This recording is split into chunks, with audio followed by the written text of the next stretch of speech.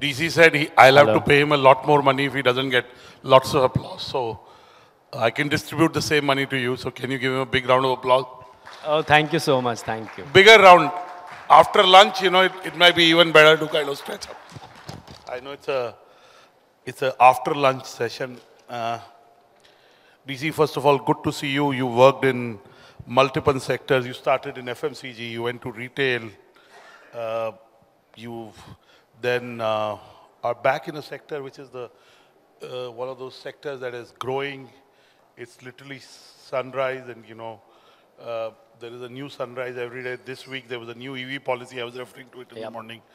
And whenever we talk of brands, we talk of sustainability. We talk of contributing to the earth.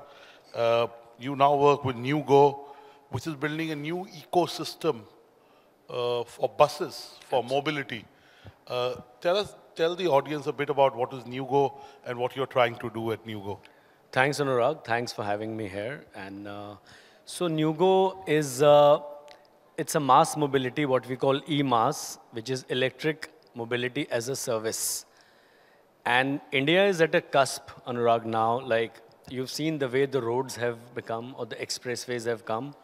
What happened to the US in 1920s and 30s? What happened in the rest of the world in 50s and 60s?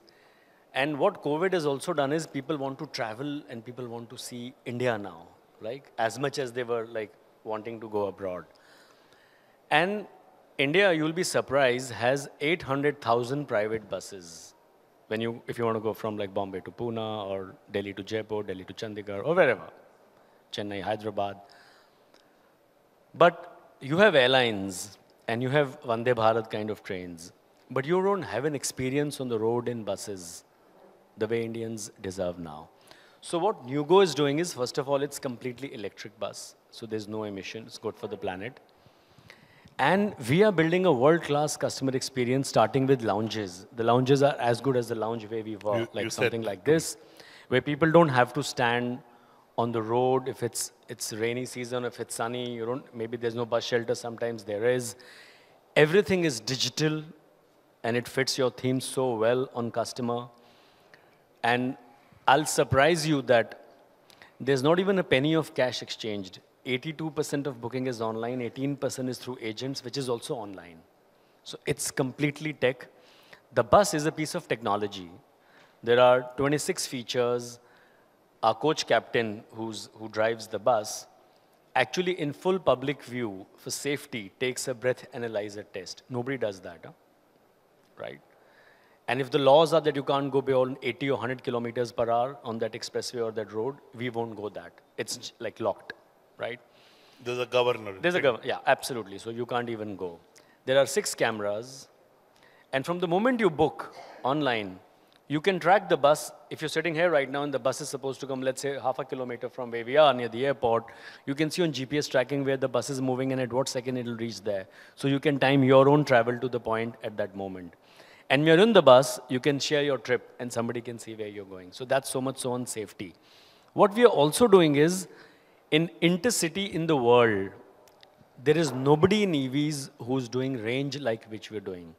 There is something called range anxiety in EVs. Like some, they, at least till two, three years back, people used to worry, oh my, what if the range runs out or the charge runs out?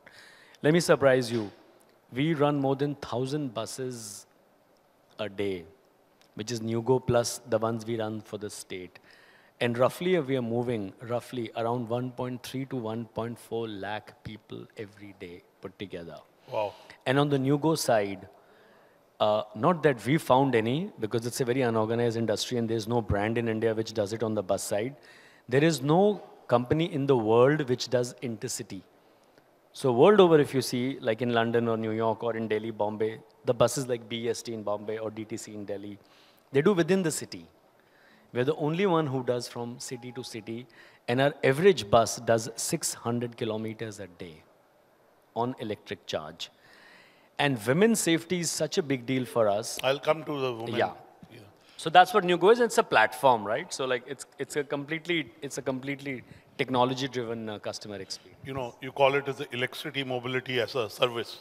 Yeah. So e-mass, like mobility as a service, and electric mobility as a service, absolutely. Now, you know, life is about aspirations. You know, people buy a certain car, they want to upgrade. They buy a certain house, they want to upgrade. They have a certain phone brand, they want to upgrade. In India, somehow bus travel is not seen as, you know, up there, so to say. It's not seen as, you know, aspirational, if I may use the word. Uh, with NueGo, you're trying to change that, right? From the lounges to the quality of buses uh, to the overall experience. Do you think uh, the movement from airlines to trains has happened? The next movement is from even affluent customers feeling comfortable traveling in buses. Anurag, you are so right. And can I surprise you that 70%, between 7 to 75% of India every day in India moves in buses. And it's not a very pleasant experience.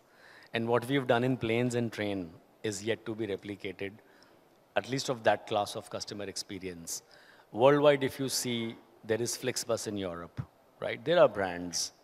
Uh, there's a big brand in the US also. In India, it's like currently very fragmented.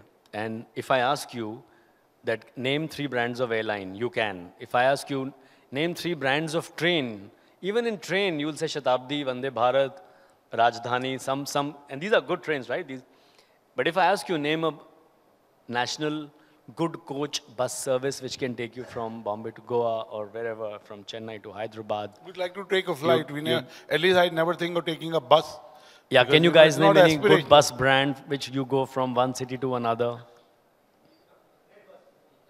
So Red Bus is a platform. Red Bus is not a bus. Red Bus is like an Amazon. It's a, it's a market aggregator. NueGo is one of the biggest players on Redbus, on Paytm. So Redbus is an app. They don't run buses. Any other take? Cityflo is, yeah, it's within city. It's not intercity, it's within city. And within city, there are, most cities have EVs, but like from Chennai to Hyderabad or Bangalore to Hyderabad or any city to any, like we run from Delhi to Shimla also in the hills. Nobody does that. So there is no brand, not in India, not in the world. Actually nowhere. And that's what we're trying to do. And to Anurag answer you, somebody has to start and this needs creating an ecosystem and a lot of capex. Because this is not like a diesel bus that you stop anywhere and you put diesel and you can park the bus on the road. No.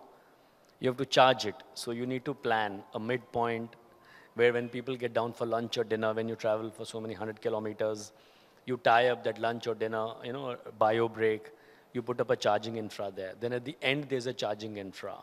So that needs a lot of investments but then it's a seamless journey. So you can't just, it's not just like you buy an EV car off the, off the shelf of a showroom and then start driving. No, you got a built-in ecosystem of chargers, depots, training, maintenance, coach captains. So I think that's what we are trying to do. Uh, DC, again, uh, there is a new class of travelers. These are solo women travelers. And women, from my understanding, are very apprehensive traveling in a bus for various, various historical reasons.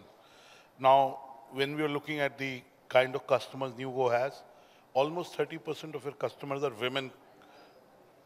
Uh, what have you done to be able to attract almost 30% as your customers? So if you, absolutely Anurag, and this is what we want to change because we are an ESG company and we are electric and we want to create change. If you go on our Instagram handle, any one of you can go on NueGo right now, you will see most of the posts, most of them are about women.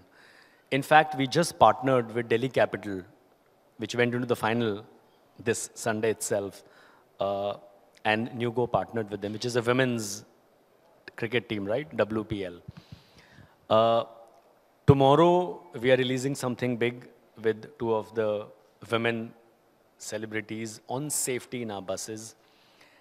If you go and make a booking, if any women goes on the, and by the way, the booking is like an airline. You go on the app, the chart will come, you can seat 1A, 1B, 2A, 2B. If a woman books a seat, the next seat cannot be booked by a male.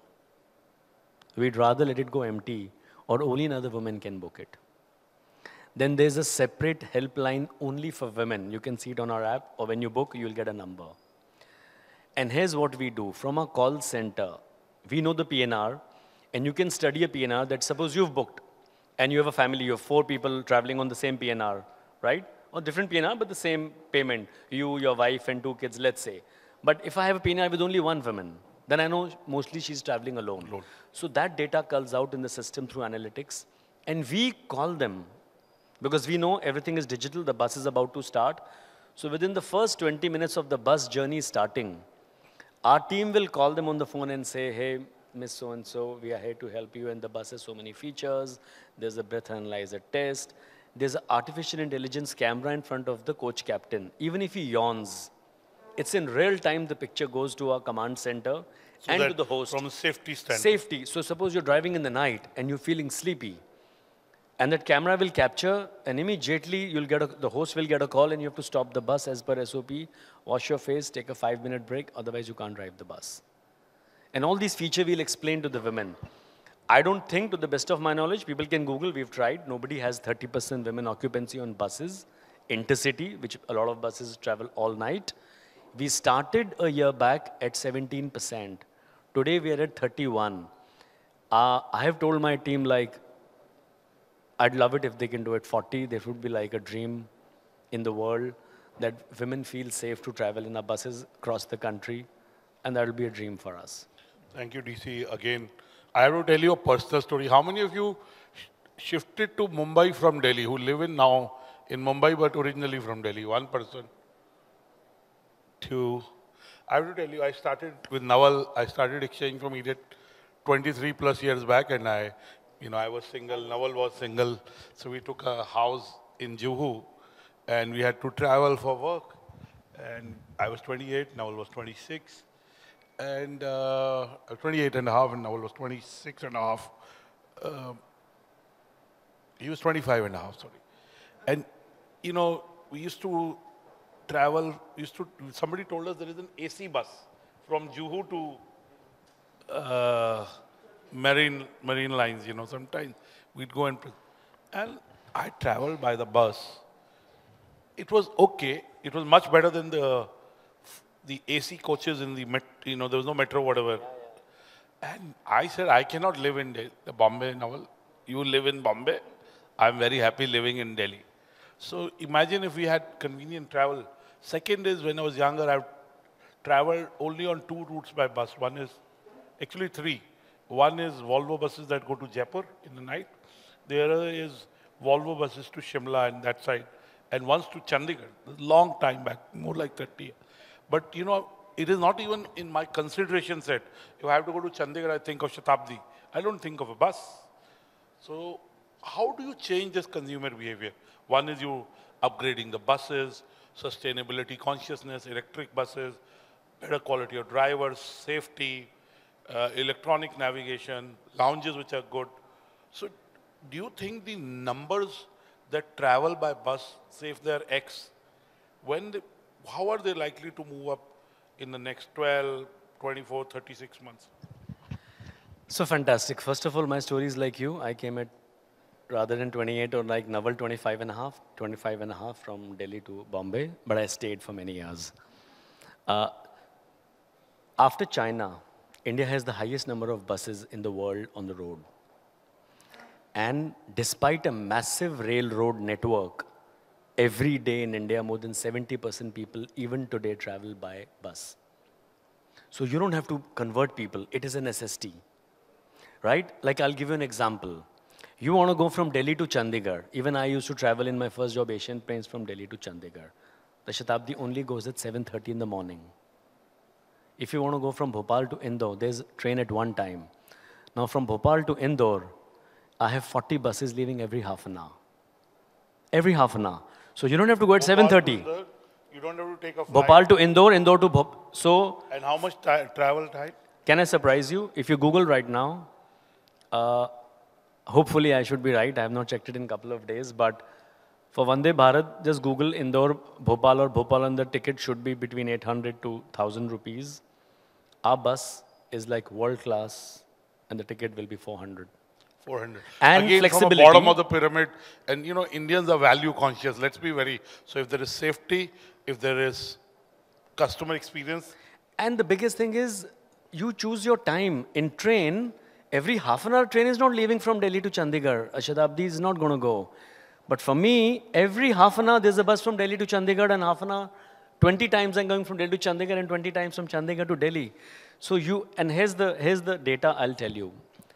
In trains, bookings typically stop 12 days before the train goes, 80%, 90%. People don't travel one day before train booking. So it's a very planned travel. Airline happens till three days back, two days back. The last two days, the tickets goes up like three times. It's very few bookings. Buses is the most convenient. 80% of bus bookings in India happens in the last 24 hours and 36 hours. So they are very different customer journeys. So there's no overlap. The customer journey is very different for an airline to a train to a bus. And if you need flexibility, suppose you've gone to Pune and you don't know what time you're going to leave, but you know between that one hour, right? You know, then you don't want to take a flight or a train. You know there's a bus coming every half an hour. And you have Pune, Bombay. We haven't started Pune, Bombay, but in most part nice of the world. No, but in, we are in many in the country. We are like in Hyderabad, Chennai, Bangalore, MP, uh, Surat, Indore, Bhopal, Delhi, Haridwar, Rishikesh, Lucknow. No, Most, but not in Bombay, Pune. But we will come. We we have our services in Maharashtra. From Pune, we go many cities. Two. From Pune to Solapur, Ahmednagar, but Bombay we haven't yet started. We will in time. So, and you have uh, Pune to Shirdi. Uh, to Shirdi we have to start. So, I have two. These are, you should be very popular, right? I know, I know, I know, I know. Uh, now, again, you know, customer experience is something which most intercity travel companies don't talk about. I mean, uh, and you're talking Because there are no brands. Who will talk about? There are no brands. So that's why, I see, 800,000 buses. Can I surprise you? The total addressable market, if somebody is like, uh, when you do a startup pitch or a deck, you always write TAM. Today, as per McKinsey, it's 55 to 60 billion dollar is India's bus travel every year, and there's no brand. And by 2030, it will be a 100 billion US dollar market, and this is McKinsey's number. Imagine the potential. Imagine if 800,000 buses, and on top of this, 160,000 buses which the government runs on state transport within city and across, add together a million buses. And the government is very clear they want to electrify it. They've started with the FAME scheme, and now they also want to make intercity electric. So I think next 10 years, this is going to like change the way Indians travel. And Indians want to travel better. We know it now. You know, as we started, our theme is leveraging technology to drive customer centricity. As I said, you worked across FMCG, retail, and now in the EV space with Green Cell Mobility. Why do you think it's important for brands across sectors? I mean, I was at a real estate conference of ours in Calcutta, and developers were talking about, you know, being customer centric.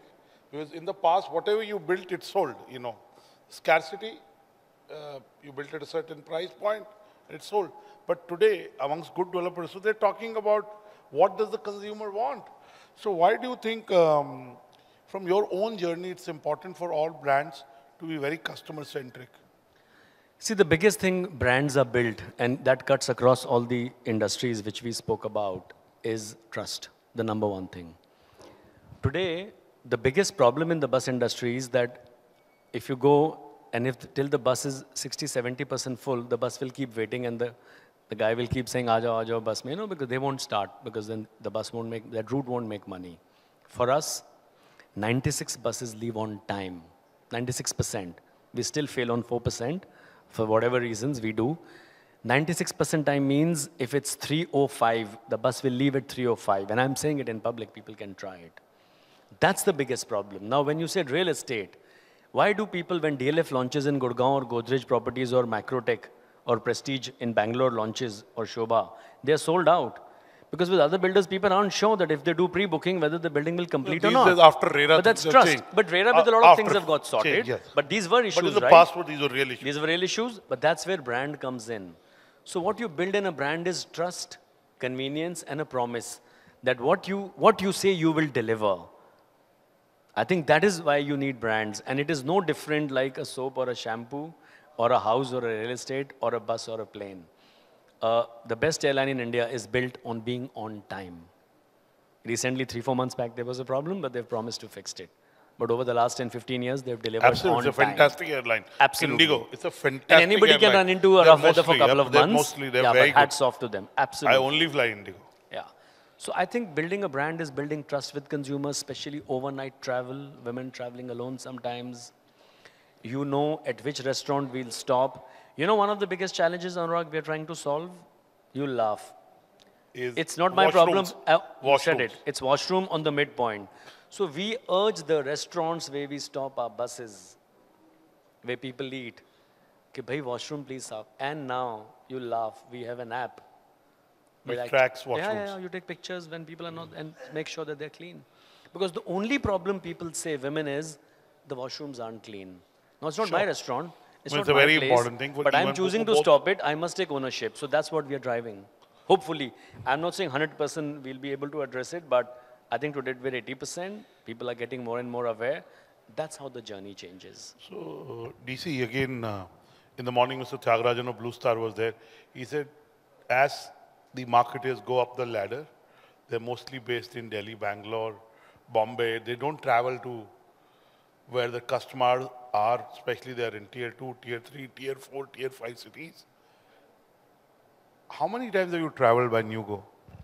N number of times. My last journey was Bhopal, Indore, so I'm not going to even name because I'm between Delhi and Bombay mostly. In Bangalore, I took a trip, uh, and this is recent ones. You really don't get the pulse of the consumer till you sit with them and travel. Can I also surprise you? Today, women as a host in India is not even a concept. Today, in Asia Book of Records and India Book of Records, we have coach captains, women who drive these buses, these 18 ton, 12 and a half meter long bus with 45 people in it within cities. And we have 60 women as host in the bus. So much so is the change we are bringing. And you don't come to know the problems till you're in the bus. There are small, small nuances. Like every glass has that hammer that, you know, if something goes wrong, you break it. But where you place it, also people will give you feedback that they can't reach. So where do you place it? Only when you talk to people and don't you tell who you are, you learn the feedback. Uh, in the last seven, 16 years, I haven't owned a car. I only travel Uber. Yeah, I only travel Uber. My driver So I talk to all of them and learn a lot. I, I talk to them, and whatever happening in the city or whatever the troubles or what is happening, I mean, you learn a lot from them. So I think that's how you learn. Fantastic. I know, again, you mentioned about your partnership with the certain team in women's cricket. Uh, And Chennai and FC also the football team, football. and So with you the use sports uh, to effectively build a mobility brand, electron, you know, electric mobility as a service brand. Why sports, and what are your learnings and dividends from it? So this is, uh, I don't think this was very planned, but it happened with one team which approached us saying that, can you give us your EV bus? Uh, one of the big teams said that when our players are going from the hotel to practice every day for the match, and when they go for the rail game, they want to be sustainable and use the bus, and they branded the whole bus with the NueGo and their own logo. And then we realized this is a very big one. So now we've tied up with most of them, even Haryana Hurricanes kabaddi team. I'm from Haryana, play- that's why you. Yeah, so you know that. So even they are, we are partnered with them. So they travel in the buses across when they're going for games and matches. And if they're living in Delhi and they're going to Haryana somewhere in a match, then they use the bus and the buses go branded. So it's in, in itself mobility, right? You're moving. So it makes a lot of sense. DC, uh, you've been in leadership positions for many years. What I asked this to Mr. Thiagarajan and I'm asking this to you. What is your advice to CMOs? There, there are lots of CMOs who've spoken in the morning, some are speaking post you, and in the evening we have the CM, CMO awards. What is your advice to CMOs who aspire to become CEOs? So I don't think I'm going to say something which is new. I'm sure you know it. I think the, the challenge is in executing it. I think be authentic. I think it's really, it's a very simple word, but it's very difficult to do. I think you have to be truly authentic. Today, whether it's your team or whether it's your consumer, they can see it through. Earlier, when we started as younger, even before our time, marketing was also seen as ke like impress karna hai or like you know sometimes to stretch the limit, which is not even real. Like today, there's ASCI, and there's a lot of things you read about that brands make claim which can be questioned that truly do you even deliver? That you drink this and your height will go two inches taller. You can't do that anymore. So be authentic. I think CMOs have a great chance to become CEOs because the real business comes if you understand the consumer and the consumers paying for everybody's salary when they pay from their wallet. And nobody better can understand the business than a CMO. But you need to be authentic. And you need to also, where I see a lot of CMOs not putting effort, is to understand a P&L. Like, their best friend is not a CFO. They're mostly on cross, on like, you know, paying their vendors on time or, you know, contracts or negotiating. I think understanding P&L is very important because that's where you connect. When you spend money on marketing or whether it's a customer acquisition cost or your campaign, how does it impact the revenue? Because earlier, when digital marketing was not there and performance marketing was not there, there was a joke that marketing money is work, which half we don't know. But today we know. Today we know most and most companies are moving towards digital. So I think work with the CFOs and if somebody has understanding of finance and understand, understanding of the consumer, I see no reason why, why all CMOs can't become CEOs. Anurag, that's what I'll say. Uh, my last question, and I'll bring the audience, though we have uh, very little time. What are the two, three trends that you see in business in future which impact the job of marketers or everybody at a CXO level? Uh, for example, sustainability is a big movement. For at least two decades, we've been talking about brands having a purpose beyond profits, top line, bottom line. What are the uh, generative AI is changing the way we look at data, the way we are able to look at trends, the way our, we are able to do certain tasks. You know, we can have a separate session on agency of the future because a lot of tools can generate creative. So, but what yeah. is happening in business beyond sustainability, beyond generative AI? So I think, I think it truly is taking shape that business role is to make money, but no more at any cost. Uh, and the younger generation, like my children, and I used to test them, and I, I don't want to get into an example, but I remember challenging my daughter once because she was doing something on sustainability. And I told, and I thought, "Yeah, to do char din ka hai, bhoot utar jayega, you know, but she was working on something very hard. I said, acha, really? She was a teenager. And then for a month she kept working, and I thought, seriously? And then for six months she worked on it. And then I sat down with her and saw, heard what her friends are doing this generation is different, Anurag. We've grown up differently. We are inducting ourselves into sustainable because it's the in thing. The generation which is coming now, they truly believe in it. So the whole world will have, because there's no choice otherwise. It's not global warming, it's a global warning actually. You see the way climate thing is. And somewhere we have to start, right? The other is, I see a lot of senior people not investing enough time in data analytics and understanding what is AI. Everybody will know what is, a, what is generative AI. But can I ask how many of you have an account on generative AI or chat GPT? How many, How of many you- of you have actually how many used use chat GPT? tools? A lot of them. Not bad. Not bad. That's like 60%. And I asked this question in the morning, DC. And 60% is very No, good. no, not this Because one. these are CMOs. you go to other functions, How many paid users for Chat GPT Pro in the world? Guess. No, I don't know. Take a guess. You'll be wrong, but take a guess. Uh, must be in millions. How many? 10 million? 188 million. I haven't Googled, Googled Paid. it. Wow. That's insane. Paid for Chat GPT Pro. I'm not talking free. Wow. And Google it. Uh, it's from a Wow. third party source. It could be more. It may have moved. Uh, That's humongous. so humongous. They're doing billions of dollars of revenue in a month. So if people, people are paying for it and what's happening to NVIDIA, the world is moving so Yes, quickly. so, you know, analysts are saying at current prices also the NVIDIA chip, you know, stock is undervalued. yeah, and Nvidia. I mean, like, it's undervalued, so where is it going to go? NVIDIA's market cap is nearly as big or little near our country's GDP, around three, three and a half trillion. And that's what's the change. The change is happening so fast, Anurag, So it's not about whether being AI or digital or analyst or tech or sustainable or ESG or EVs or whatever or you know hydrogen. It is the speed of change. Can you catch up? I think as leaders, that is the challenge we all will face. How can we unlearn? How can we let other people do? And this unlearning is very difficult. And you huh? know, uh, Devendra, there is a oxymoronish behavior here. Now, when we talk of, let's say, blockchain, we talk of humongous amounts of, you know, mining.